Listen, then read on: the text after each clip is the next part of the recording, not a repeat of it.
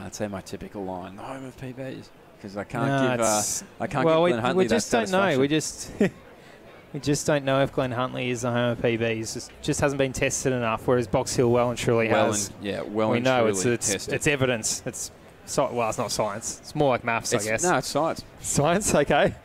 it's a home it PBs. science, it's science. Box Hill. It's philosophy. Yeah, Aristotle. Did you go to a smart school or something? Wow, yeah.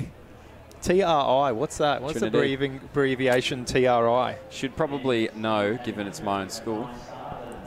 Shout out Trinity. So our men's B race. So three 800 metre races left on the calendar here on the timetable here at Glen Huntly. Last final Milers Club meet of the season. Lane one is Hamish Bayliss from Deakin. Lane two, Finian Russell from Mornington Peninsula. Lane three, Isaac Rosato from Eureka. Lane four, James Hatton from Glen Huntly. Lane five, Brian Wilson from Melbourne Uni. Lane six, Felix Lonigan from St Kevin's.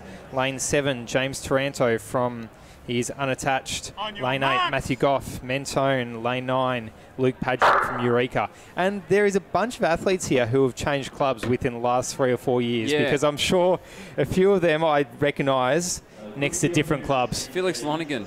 Certainly Absolutely. Yep. Finn Russell could be another one. Luke Padgham, Eureka Yep. used to be Bendigo, but we won't talk about that. We'll talk about the races on hand right now as James Hatton from Glen Huntly sits in nicely behind Brian Wilson from Melbourne University. And it is a bit of a pack run so far. The athletes are only separated by well, about three seconds in seed time. The leading person in the race now does have the leading seed time of 154, and that is the time that they will be chasing as a pack. Yeah, so Brian Wilson's going to be more than happy to lead these boys out. And as you mentioned, Mick, he does have the fastest uh, time in this race. So he, at the front, is going to be very advantageous to the rest. And the next guy with the fastest time is Felix Lonigan. He's tucked in right behind him. So He we see our is. Mornington Peninsula athlete, Finian Russell. He's obviously chasing a time with a 156 to his name. So it is going to be Brian Wilson ahead of Felix Lonigan. Finian Russell not far behind there on the outside. Hamish Bayliss has wheels tucked in at the inside of the rail. So if he can get himself free, he could get absolutely flying. But watch out for Felix Lonigan tucked in beautifully behind Brian Wilson. Wilson's done it early. And here we see now uh, Glen Huntly athletes. They James seem to know when to move. Jimmy Hatton. Here we go, Mick. He is going up on the shoulder of Felix Lonigan with gusto. He is chasing Brian Wilson.